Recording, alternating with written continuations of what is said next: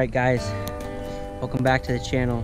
Uh, today we're going to be going across the river over here and doing some food plot clearing out. Be a food plot, it's overgrown so we're going to be brush hogging that, vacuuming out a shooting house. I'm going to be doing that. Going to be clearing a few trails so it's easier to get up there. kind of in the late archery here so it's not really the best golden time to be doing this but we're just going to get it clean so that it's huntable and um, for Leicester archery and into rifle season later on. So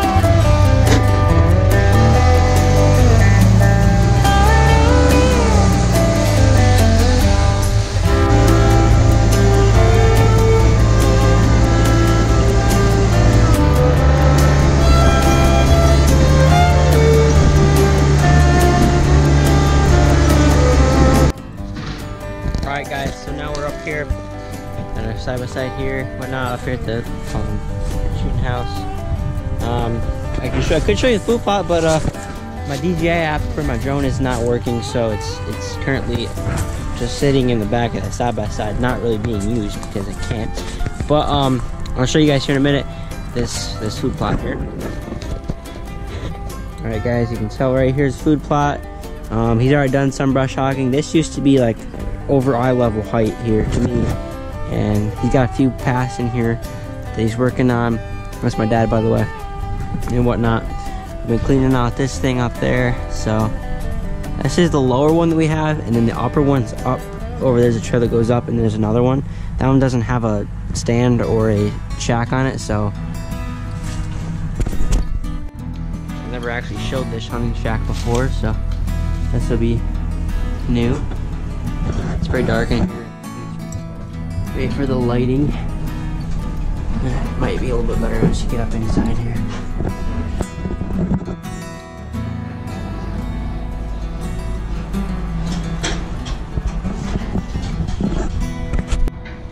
Alright, so this hunting shack is probably about eight or nine years old. That's my guess. Um, I actually shot my very first deer out of this one with 243 when I was seven years old. So seven years ago, shot him sitting right here on this. He was up there about 100, 100 yards, 150 yards up there, and I shot him. It was a, it was a three point. Don't judge me, but um, you know, once you're that young and it's your first year, you're just kind of really excited about it. So it was really, really exciting for me. Um, yeah.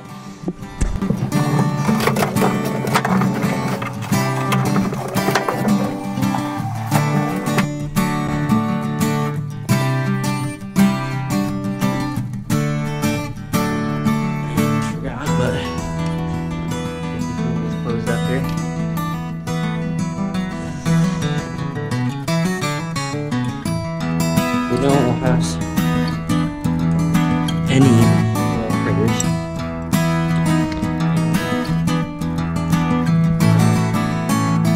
Pretty much we think it's a heyday if we. Don't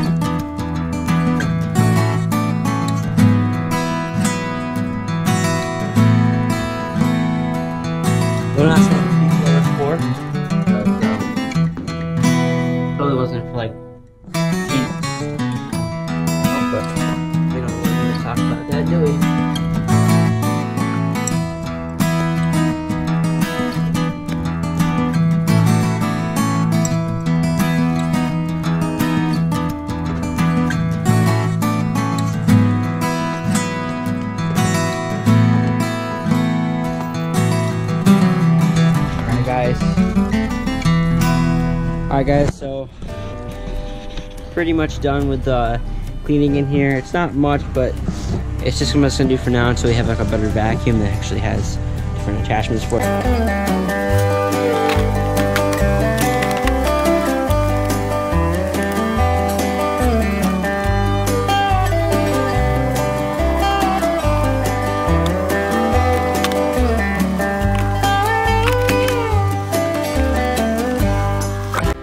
Have a broken door, so. But you know what? Serves its purpose door.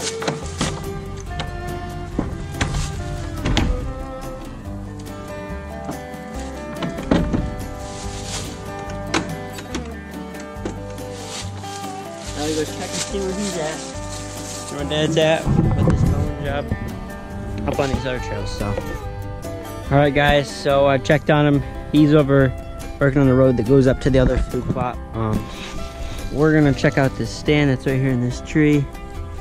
Um, see if it's good or not. What's not, so we'll check her out now. The thing you need to check really is where your straps are on this tree. And um, making sure it's dry rotted. You can see it's like, it doesn't come down. So I mean, that's a good sign. And usually if they're in there, it in, but it's like a fairly, fairly good one right here. A little bit of leaves in it, obviously. We'll get that out of it. Um, we're checking these right here. They all feel nice, so go ahead. I feel like I'm sitting in a cockpit. So that's a foot bar, and then another rest It's actually really good. We can watch for this field. Obviously, it's gonna need. Might bring that saw up here, right there in the back of the gator or the side by side. Cut some of these limbs down. Cut this big one right here. And all this will come out. Really, that's about it. Cause that limb's gone, you can see everything you need to. So.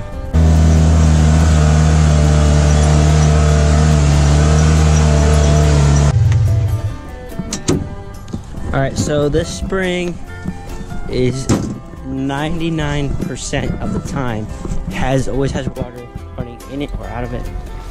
So here's this. I think that's the water hole. Okay, so it's over here.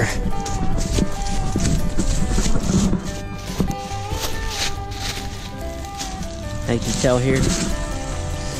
Obviously, this is pretty nasty stuff, but this. That's clean water fresh from the ground actually so. It feeds down that way to drain but yeah. Spring that we have here so